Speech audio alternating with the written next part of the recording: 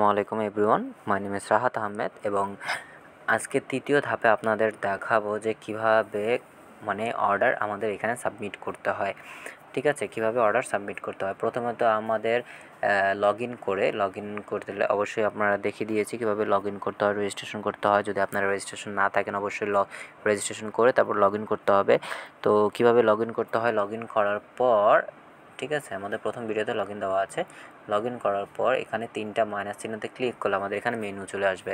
তো মেনু চলে আসলে মেনুর তিন নাম্বারটা প্রোডাক্ট আপলোড প্রোডাক্ট আপলোডে ক্লিক করলে দেখবেন আপনার অর্ডার নাও আছে। অর্ডার নাওতে ক্লিক করবেন অবশ্যই। অর্ডার নাওতে ক্লিক করলে দেখবেন আপনার এখানে বহুত প্রোডাক্ট আছে। তো এখন আপনি আপনার প্রোডাক্টগুলো কোথায় কীভাবে খুঁজে পাবেন? এই একটা অপশন আছে। তো কীভাবে খুঁজে পাবেন সেই জিনিসটা আমি দেখায় দিচ্ছি। তো সাপোজ এই কাস্টমার আমাকে নাম অ্যাড্রেস ফোন নাম্বারটা দিয়েছে। তো আমি কি করলাম? আমার ওই যে একশো বিশ উপরে দেওয়া আছে না, একশো বিশ, একশো বিশে এখানে ক্লিক করলাম। ক্লিক করার সাথে সাথে এখানেও দেখুন লাস্টে পঁচিশ নাম লাস্টে পঁচিশ টোয়েন্টি ফাইভ এই যে দেখা দিচ্ছি। কপি হচ্ছে না। লাস্টে দেখবেন আমার টাইটেলের লাস্টে পঁচিশ দেওয়া আছে টোয়েন্টি ফাইভ দেওয়া আছে, ওই ফাইভটা মনে রাখবেন। তো মনে রাখার ফাইভটা মনে রাখবেন, মনে রাখার পর আপনার অ্যাফিলিয়েট ইউজারে যাবেন। যাওয়ার পর এখানে উপরে সার্চ অপশন আছে সার্চ সার্চে যে টোয়েন্টি ফাইভ যদি আপনি দেন, দিয়ে যদি আপনি সার্চ দেন, তাহলে অবশ্যই ওই প্রোডাক্টটাই আসবে। ওই যে দেখুন, ওই প্রোডাক্টে আসছে। অবশ্যই যে টোয়েন্টি ফাইভ ফিটস দেওয়া আছে তো সেজন্য আর কি সবগুলো এসে পড়েছে। তো এখানে টোয়েন্টি ফাইভ আপনার প্রোডাক্টটাও চলে আসবে। এখানে বাই নাওতে ক্লিক করতে হবে। তো বাই নাওতে ক্লিক করার সাথে সাথে আপনার এখানে আপনার কাস্টমারের নাম কাস্টমারের ফোন নাম্বার কাস্টমারের অ্যাড্রেস আর হলো কোরিয়ার সার্ভিস ঢাকার ভিতরে না, ঢাকার বাইরে সেই কোরিয়ার সার্ভিসটা তো আমি কপি করে আনি। এই যে কাস্টমারের নাম কপি করলাম। কপি করার পর নিলাম। নিয়ে এখানে প্রথমত মিনলে আগে পেস্ট করলাম। পেস্ট করার পরে কাস্টমারের নাম সিলেক্ট করব। সিলেক্ট করে কাট করে নিব। কাট করে নিয়ে কাস্টমারের নামে প্রেস করে দেব। তো কাস্টমারের ফোন নাম্বারটাও কাট করব। কাট করে প্রেস করে দেব। তারপরে কাস্টমার অ্যাড্রেস অবশ্যই ফুল অ্যাড্রেসটা নিয়ে নেবেন। এখানে শর্ট অ্যাড্রেস দিয়ে দিয়েছে সে। ফুল অ্যাড্রেসটা নিয়ে অ্যাড্রেস অ্যাড্রেসে সাবমিট করে দেবেন আর কুরিয়ার সিলেক্ট করে দেবেন ঢাকার ভিতরে না, ঢাকার বাইরে।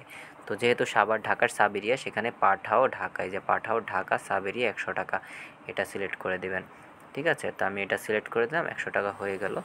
আর এখানে যে নোটে যেগুলো দিয়েছি, ওগুলো ডিলিট করে দিচ্ছি। শেষ। কনফার্ম অর্ডার কনফার্ম অর্ডারে ক্লিক করে দিলাম। এই যে, আমার একটা অর্ডার কনফার্ম হয়ে গেল। আমার নামও চলে এসেছে অর্ডার কনফার্মও হয়ে গেল, নাম অ্যাড্রেস ফোন নাম্বার দিয়ে দিল। ঠিক আছে? তো এখানে কলে যদি আমি ক্লিক করি কল বাটনে যদি ক্লিক করি, তাহলে এখানে আমার ইনফরমেশনগুলো সব চলে আসলো। কাস্টমার নাম customer phone number customer address চলে আসলো। কখন অর্ডার করেছেন সেটাও চলে আসলো। এখন পেন্ডিং আছে, সেটাও আসলো। কে অর্ডার করেছে তার আইডিটাও চলে আসলো। আর এখানে কি প্রোডাক্ট অর্ডার করেছে সেটাও চলে আসলো। এখন আপনি দেখতে পাচ্ছেন যে আপনার এখানে প্রোডাক্টটা একশো বিশ টাকা, আপনি মানে সেল করছেন দেড়শো টাকা, তখন কি করবেন? তখন এখানে এডিট বাটনে ক্লিক করবেন। অর্ডার কনফার্ম করার পর এডিট বাটনে ক্লিক করবেন। ক্লিক করার সাথে সাথে উপরে দেখবেন প্রাইস আপ প্ল্যাটফর্ম আছে। প্রাইস আপ যেহেতু আপনি একশো বিশ টাকা দেওয়া আছে আমাদের এখানে, আর সেল করছেন দেড়শো টাকা তো গ্রোথ কত? তিরিশ টাকা। তিরিশ টাকা আপ করে দিতে হবে। আপ করে সাইটে যেতে হবে। তিরিশ করে, তিরিশ টাকা সাইট করে আপডেট দিয়ে দিতে হবে। আপডেট দিয়ে দিলে অটোমেটিকলি দেখবেন এখানে দেড়শো টাকা হয়ে গেল। এখন আপনি চাচ্ছেন, আপনি সেল করছেন একশো বিশ, আপনি সেল করছেন একশো টাকা আর এখানে দেওয়া আছে কত? দেড়শো টাকা, তাই না? তো এখানে কি করতে হবে? এখানে করতে হবে আপনার এখানে দেড়শো টাকা যেহেতু আছে, সেখানে আপনার পঞ্চাশ টাকা লেস করে দিতে হবে। পঞ্চাশ হাজার টাকা যদি লেস করে দেন, আপ যদি দেন, তাহলে অবশ্যই এখানে দেখতে পারবেন একশো টাকা হয়ে গেল। ঠিক আছে? এখন আপনি চাচ্ছেন যে এখানে কোয়ান্টিটি এখানে কোয়ান্টিটি প্রোডাক্ট কোয়ান্টিটি আপনি দেখছেন ওইখানে কোয়ান্টিটি দুইটা সেল করছেন, একসাথে দুইটা সেল করছেন। তো সেক্ষেত্রে কী করতে হবে? সেক্ষেত্রে আপনার এখানে এক আছে, দুই দিয়ে দিতে হবে। দুই দিয়ে আপডেট দিয়ে দিতে হবে। তো দুই দিয়ে যদি আপডেট দিয়ে দেন, এখানে কোয়ান্টিটি দুইটা হয়ে গেছে আর প্রোডাক্ট প্রাইস হয়ে গেছে। কোয়ান্টিটি দুইটা দিয়ে দেওয়ার পর এখানে দেখবেন আপনার দুশো টাকা হয়ে গেল আর কোয়ান্টিটি দুইটা আর এখানে একশো টাকা সেল করছেন, এটা হয়ে গেল। তো ব্যাক টু পেজে যদি আপনি ক্লিক করেন, আপনার ডেলিভারি চার্জ ছিল একশো টাকা প্রোডাক্ট দুইটা মিলে হলো দুশো টাকা টোটাল তিনশো টাকা এখানে আপডেট ইনফরমেশনে চলে এসেছে। তো এভাবে প্রোডাক্ট আপলোড দিতে হয়। তখন আপনি চাচ্ছেন যে দুইটা প্রোডাক্ট আলাদা আলাদা কীভাবে অ্যাড দেওয়া যায়। তো সেক্ষেত্রে আপনাকে আবার অর্ডার নাওতে যেতে হবে। নাওতে যে হ্যাঁ এখানে সাপোজ এই দুইটা ঘড়ি আমার পছন্দ হয়েছে। এই দুইটা মানে এই দুইটা ঘড়ি কাস্টমার চাচ্ছে, এই দুইটা ঘড়ি কীভাবে অ্যাড দিব? তো প্রথম ঘড়িটা অ্যাড টু কার্ডে ক্লিক করবেন। ক্লিক করার পর উপরে দেখবেন ভিউ কার্ডে একটা জমা হয়ে গেছে। ঠিক আছে? আর দ্বিতীয়ত হলো আবার এই ঘড়িটাতে না? এটাতে ডাইরেক্ট বাইতে ক্লিক করবেন। ক্লিক করলে দেখবেন দুইটা ঘড়ি জমা হয়ে গেছে। এখন ওই নাম নাম্বার অনুযায়ী যদি আপনি দিয়ে দেন suppose Alamin mobile number zero nine mobile number, অ্যাড্রেসও দিয়ে দিলাম। আর ঢাকার ভিতরে হলে উপরে, ঢাকার ভিতরে যে ঢাকা হোম ডেলিভারি নিচ্ছে ষাট টাকা দিয়ে দিলাম। দিয়ে কনফার্ম যদি ক্লিক করে দেই, তাহলে অবশ্যই দেখবেন দুইটা ঘড়ি অ্যাড হয়ে গেছে।